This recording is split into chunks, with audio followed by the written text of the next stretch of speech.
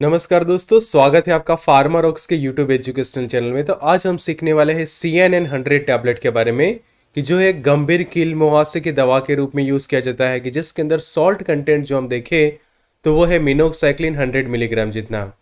तो कहा जाता है कि ये मेडिकेशन जो एक पॉपुलर एंटीबैक्टीरियल ड्रग है, और बहुत सारे बैक्टीरियल इन्फेक्शंस को ये मेडिकेशन ट्रीट करती है। साथों साथ जो आपको गंभीर कील मुहासे होते हैं चेहरे के ऊपर तो उसके इलाज में भी ये मेडिकेशन यूज़ की जाती है। सेकंड हम देखें तो जो बहुत सारे प्रकार के जो अलग अलग बैक्टीरियल इन्फेक्शन होता है, उसको भी ये मेडिकेशन जो है वो ट्रीट करती है। तो उसकी डिटेल स्टडी करेंगे और जानेंगे कि कौन से अलग अलग बैक्टीरियल इन्फेक्शन को ये ट्रीट करता है, उसका डोज क्या है साइड इफ़ेक्ट्स क्या है और किस तरह से ये मेडिकेशन अपना काम करता है। तो यहाँ पे आप उसका लेबल देख सकते हैं तो उसकी डिटेल लेबल स्टडी भी हम आगे वीडियो के अंदर करते हैं और जानते हैं डिटेल में ये मेडिकेशंस के बारे में। तो ऐसे ही समझो कि आपको बहुत सारी दवाइयों के बारे में सीखना है तो आप मेडिसिन कोर्स को ज्वाइन कर सकते हैं फार्मा रॉक्स के ऊपर। तो ये कोर्स आप काफ़ी अफोर्डेबल प्राइस में एक्सेस कर पाओगे, वो भी एक साल तक। तो ये कोर्स ज्वाइन करने के लिए हमें व्हाट्सएप कर सकते हैं, nine zero one six three one, two zero two zero पे, या फिर हमारी ऐप को डाउनलोड करें। तो अब समझते हैं C N N hundred tablets के बारे में। तो ये ऐसे क्लास का मेडिकेशन है कि जिसको हम एंटीबायोटिक कहते हैं। तो सी एन एन हंड्रेड जो है वो ब्रांड नेम है और उसके अंदर जो सॉल्ट कंटेंट हम देखें तो वो है मिनोसाइक्लिन और मिनोसाइक्लिन इसके अंदर हंड्रेड मिलीग्राम जितना प्रेजेंट है। फिर बात करें कि इसका मैन्युफैक्चर कौन है तो आईपीसीए लेबोरेटरीज जो है उसके मैन्युफैक्चर है और ये एक इंडियन मल्टीनेशनल फार्मास्यूटिकल कंपनी की जिसका हेडक्वार्टर्स मुंबई में है। और ज़्यादा जानते हैं डिटेल में मिनोसाइक्लिन के बारे में तो मिनोसाइक्लिन एक एंटीबायोटिक ड्रग है कि जो टेट्रासाइक्लिन क्लास का एंटीबायोटिक ड्रग है और ये एक ब्रॉड स्पेक्ट्रम एंटीबायोटिक कहा जाता है बिकॉज़ ये बहुत सारे gram positive as well as जो ग्राम नेगेटिव दोनों टाइप के बैक्टीरियाज के इन्फेक्शंस को ट्रीट करने के लिए ये मिनोसाइक्लिन एंटीबायोटिक ड्रग यूज़ की जाती है। जैसे आपने डॉक्सीसाइक्लिन के बारे में स्टडी की है तो उसी तरह से सिमिलर मेडिकेशन है ये। मिनोसाइक्लिन के ये भी एक टेट्रासाइक्लिन क्लास का एंटीबायोटिक ड्रग है। तो उसके लेबल के बारे में आप सबसे पहले देखो तो आर एक्स है मतलब कि प्रिस्क्रिप्शन बेस्ड मेडिकेशन है। मिनोक्साइक्लिन हाइड्रोक्लोराइड जो उसका सॉल्ट कंटेंट है कि जो 100 मिलीग्राम जितना टैबलेट के अंदर जो है वो प्रेजेंट है। ऊपर आप कंपनी का लॉगो देख पाएँगे यहाँ पे कि जो आईपीसीए का जो लॉगो आप यहाँ पे देख सकते हैं और सी एन एन हंड्रेड उसका ब्रांड नेम और इस तरह से ब्लिस्टर पैकिंग के अंदर टेन टैबलेट्स अवेलेबल होती हैं। उसके बैक कवर की हम स्टडी करें तो लिखा हुआ है कि फ़िल्म कोटेड टैबलेट्स रहती है ये खासकर, और एक्विवेलेंट टू हंड्रेड मिलीग्राम जितना कंटेंट जो है उसके अंदर रहता है। तो यहाँ पे आप देखो लिखा है कि इच फ़िल्म कोटेड टैबलेट कि जिसके अंदर मिनोसाइक्लिन हाइड्रोक्लोराइड हंड्रेड मिलीग्राम जितना है, फिर लेक ऑफ़ सनसेट येलो जो कलर है उसके अंदर जो वो ऐड किया गया है। बाकी हम बात करें तो ये शेड्यूल एच ड्रग है मतलब कि प्रिस्क्रिप्शन के साथ ही ये मेडिकेशन जब आप रिटेल में बेचते हैं तो बिना प्रिस्क्रिप्शन उसको नहीं बेचनी चाहिए। प्रिस्क्रिप्शन के साथ ही ये मेडिकेशन रिटेल में जो वो बेची जाती है।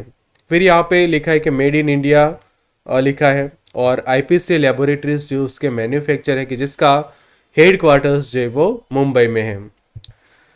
फिर यहाँ पे भी आप देख सकते हैं प्रॉपर उसकी डिटेल की स्टोरेज करनी है आपको। ड्राई प्लेस पे उसको अच्छे से स्टोर करना है और सनलाइट से ये मेडिकेशन को जो है वो आपको अच्छे से जो है वो प्रोटेक्ट करनी है।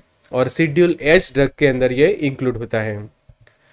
फिर यहाँ पे डिटेल दी गई है आईपीसी लेबोरेटरीज की भी।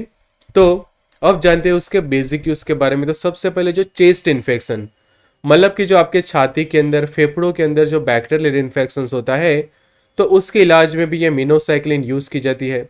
सेकंड कंडीशन हम देखें तो स्किन इन्फेक्शंस तो स्किन इन्फेक्शन के अंदर स्पेशली जो पिंपल्स होते हैं एक्ने की जो कंडीशन होती है, या फिर जो कील मुहासे की जो कंडीशन हम कहते हैं कि जिसके अंदर आपके स्किन के ऊपर रेड कलर के दाने जैसे बन जाते हैं और स्किन जो है वो डैमेज होना शुरू होती है। तो वो एक टाइप का बैक्टीरियल इन्फेक्शन होता है और उसको एक भी ट्रीट करने के लिए मिनोसाइक्लिन यूज़ की जाती है। फिर रोजा से की कंडीशन की ये भी एक टाइप का स्किन इन्फेक्शन से कि आपके स्किन के ऊपर रेड जो है वो स्पॉट्स बनना शुरू हो जाते हैं और वहाँ पे कई बार पस फॉर्मेशन भी होता है तो वो भी ट्रीट करता है। चौथा, हम देखें तो जो प्लेग की जो कंडीशन है, उसके इलाज में भी मिनोसाइक्लिन यूज़ किया जाता है। डेंटल इन्फेक्शन होते हैं मतलब कि दांत में आपको दर्द हो रहा है, और वहाँ पे मसूड़ों पे सूजन देखने को मिलती है, वहाँ पे पस फॉर्मेशन होता है तो ये सभी कंडीशंस को मिनोसाइक्लिन जो है वो ट्रीट करता है। फिर छठी कंडीशन हम देखें तो सेक्सुअली ट्रांसमिटेड जो इन्फेक्शंस होते हैं, जैसे कि क्लेमाइडिया की जो कंडीशन है गोनोरिया की जो कंडीशन है तो ऐसे जो एस जो होते हैं, उसके इलाज में भी ये मेडिकेशन यूज़ कर सकते हैं। वजनल डवाइट डिस्चार्ज के प्रॉब्लम को भी ये ट्रीट करता है। उसके अलावा और मलेरिया को ट्रीट भी करता है और उसके प्रिवेंशन में ये मेडिकेशन हेल्पफुल साबित होती है।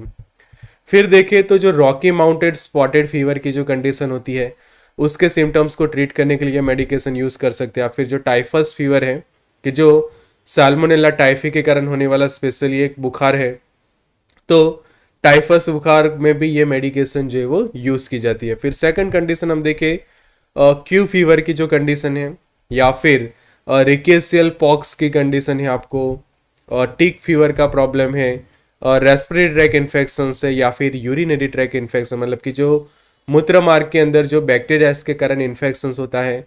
उसको भी ट्रीट करने के लिए मिनोसाइक्लिन जो है वो यूज़ की जाती है।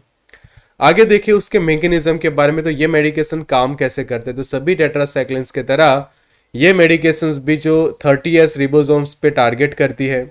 और उसके कारण क्या होता है कि बैक्टीरियाज के अंदर प्रोटीन सिंथेसिस की प्रोसेस नहीं हो पाती और प्रोटीन सिंथेसिस ना होने के कारण वो बैक्टीरियाज जो है वो आगे सर्वाइव नहीं कर पाते। मतलब कि उसके बैक्टीरियोस्टेटिक एक्शन रहती है और खासकर प्रोटीन सिंथेसिस की प्रोसेस को इनहिबिट करके ये मेडिकेशन अपना काम कर दे कि जिससे प्रोटीन ना बनने के कारण बैक्टीरियाज की ग्रोथ जो है वो इनहिबिट हो जाती है और वो जो है वो आगे ग्रोथ नहीं कर पाते और जब भी आप ये मेडिकेशंस लेते हैं तो वो लेने के बाद आपके शरीर के अंदर बैक्टीरियल इन्फेक्शन जो है वो धीरे धीरे कम होता जाता है। अब मीनोसाइक्लिन के हम डोज की बात करें तो सी एन एन हंड्रेड जो है वो हंड्रेड मिलीग्राम में अवेलेबल है।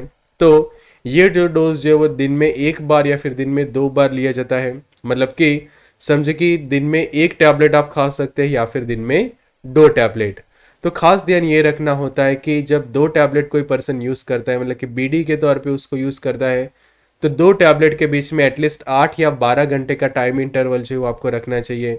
सेकंड कि ओरली ही ये टैबलेट को ली जाती है। तीसरी कंडीशन हम देखें तो ये प्रिस्क्रिप्शन बेस्ड मेडिकेशन है। तो प्रॉपर आपके डॉक्टर या फिर फार्मासिस्ट के एडवाइस और उनके डायरेक्शंस के अकॉर्डिंग टू ही उसको यूज़ करनी चाहिए। और कभी भी उसका सेल्फ मेडिकेशन जो है वो आपको नहीं करना है। बिकॉज़ उसके कुछ काफ़ी गंभीर साइड इफ़ेक्ट है, काफ़ी एडवर्स इफ़ेक्ट इसकी हो सकती है। तो सबसे पहले हम उसकी स्टडी करते हैं। तो पहला है कि आपको उल्टी हो सकती है, जी घबरा सकता है कि जिसको नॉजिया वॉमिटिंग की कंडीशन हम कहते हैं। सेकंड हम देखें तो कुछ लोगों को डायरिया हो जाता है, ये मेडिकेशन लेने के बाद। फिर, और लॉस ऑफ़ एपेटाइट आपकी भूख जो है वो कम हो जाती है तो ये एक माइनर साइड इफ़ेक्ट है। बट आगे हम कुछ उसके सीरियस साइड इफेक्ट्स देखें, जैसे कि माउथ सॉर्स कि आपके माउथ के अंदर सॉरनेस जैसा आप फील कर सकते हैं। फिर, आपकी जो जीभ है वो ब्लैक कलर की हो सकती है, और वहाँ पे छोटे छोटे जैसे हेयर डेवलप हो रहे हैं, ऐसे एक साइड इफ़ेक्ट यहाँ पे डेवलप हो सकते हैं कि यहाँ पे हमने जो डायग्राम के अंदर आपको जो दिखा है तो ऐसे साइड इफ़ेक्ट यहाँ पे डेवलप होती है मिनोसाइक्लिन के कारण, या फिर जो कोई भी टेट्रासाइक्लिन होती है, जैसे कि आप डॉक्सीसाइक्लिन लेते हैं तो उसके कारण भी एक कॉमन ये साइड इफ़ेक्ट है। फिर सॉर थ्रॉट ऐसे एक साइड इफ़ेक्ट होती है मिनोसाइक्लिन के कारण। और डिजीनेस जैसा पर्सन फील करता है, उसके बाद सिर दर्द उसको हो सकता है और रेक्टल डिस्कम्फर्ट जैसे साइड इफ़ेक्ट ये मेडिकेशन कर सकती है। आगे हम देखिए उसके कॉन्ट्राइंडिकेशन एंड प्रिकॉशंस के बारे में। तो सबसे पहले ऐसे लोग के जिनको टेट्रासाइक्लिन की एलर्जी है मतलब कि समझे कि आपने पास्ट में टेट्रासाइक्लिन यूज़ की थी, समझे कि आपने डॉक्सीसाइक्लिन खाई थी, और वो खाने के बाद आपको कोई ऐसे एलर्जिक रिएक्शंस हो गए आपके बॉडी के ऊपर खुजली होने लगी, सूजन देखने को मिली, और रैसेस डेवलप होने लगे तो ये मेडिकेशन जो है वो आप यूज़ ना करें। फिर सेकंड कंडीशन कि आपको रीनल प्रॉब्लम मतलब कि आपकी किडनीज खराब है लीवर का प्रॉब्लम है तो ऐसे पेशेंट भी उसको यूज़ ना करें। फिर किसी को हाइपर सेंसिटिव रिएक्शन से टेट्राजिन डाइस की, या फिर टाट्राजिन जो हम कहते हैं, वो डाइस की आपको एलर्जी है, या फिर हाइपर सेंसिटिविटी है तो ये मेडिकेशन आप यूज़ ना करें। फिर सेकंड कि प्रेगनेंसी के अंदर ये मेडिकेशन यूज़ नहीं की जाती बिकॉज़ प्रेगनेंसी के ऊपर उसकी काफ़ी हार्मफुल इफ़ेक्ट होती है, कि आने वाले बच्चे के ऊपर ये काफ़ी उसके साइड इफ़ेक्ट्स हो सकते हैं तो उसके कारण प्रेगनेंसी के अंदर ये कॉन्ट्राइंडिकेशंस के लिस्ट में आती है। टेराटोजोनिक ड्रग कही जाती है कि जो आपके आने वाले बच्चे पे असर कर सकती है। सेकंड बच्चों में भी ये मेडिकेशन यूज़ नहीं की जाती। तीसरी कंडीशन जो इन्फेंट्स एंड जो नियोनेट्स होते हैं मतलब कि जो नवजात शिशु की जो हम बात करते हैं, जो न्यूबॉर्न बेबीज होते हैं, उनको भी ये मेडिकेशन नहीं दी जाती। ब्रेस्ट फीडिंग के दौरान भी टेट्रासाइक्लिन या फिर मिनोसाइक्लिन यूज़ नहीं किए जाते। उसके अलावा हम देखे थे जो रीनल डिसीज के पेशेंट के जिनके किडनीज अच्छे से काम नहीं कर रहे, उनको भी ये नहीं देते। फिर रीनल एम्पायरमेंट या फिर रीनल फेलियर के पेशेंट हैं, या फिर बच्चों के अंदर ये नहीं दी जाती कि जिनकी एज आठ साल या फिर उससे कम है। तो ये सब उसके वार्निंग्स रहती है। तो यहाँ पे जो आप एक देख रहे हैं जो डायग्राम कि जिसके अंदर है कि डिसकलरेशन ऑफ़ द टीथ मतलब कि ये मेडिकेशन आपके जो टीथ होते आपके जो दांत है, उसका कलर चेंज करवा सकती है। कि डार्क ब्राउन जैसा कलर या फिर येलोविश जैसा कलर आपके दांतों का हो सकता है कि जो नॉर्मली वाइट कलर होता है। तो यहाँ पे जो डायग्राम में देख रहे हैं, इस तरह से कॉम्प्लिकेशन मिनोसाइक्लिन जो है वो करवा सकती है। फिर सेकंड हम देखें तो आपकी जो बॉन्स होते हैं, हड्डियों की जो ग्रोथ होती है, उसको ये जो है वो स्लो करवा सकते हैं जिससे हड्डियों की ग्रोथ आपकी प्रॉपर ना हो सके। तो ये दो कॉम्प्लिकेशंस होते हैं। फिर दूसरी एक वार्निंग ये रहती है कि टेट्रासाइक्लिन या फिर मिनोसाइक्लिन जो ड्रग्स होती है, उनको मिल्क के साथ आप यूज़ ना करें, या फिर कोई कैल्शियम के सप्लीमेंट्स आप यूज़ करें तो उसके साथ मिनोसाइक्लिन को यूज़ नहीं की जाती बिकॉज़ ये इंटरेक्शंस करती है कैल्शियम के साथ। तो ये खास आपको ध्यान रखने है। उसी के कारण ये उसकी एक साइड इफ़ेक्ट डेवलप होती है कि वो स्लो डाउन कर देती है आपके बॉन्स के ग्रोथ को।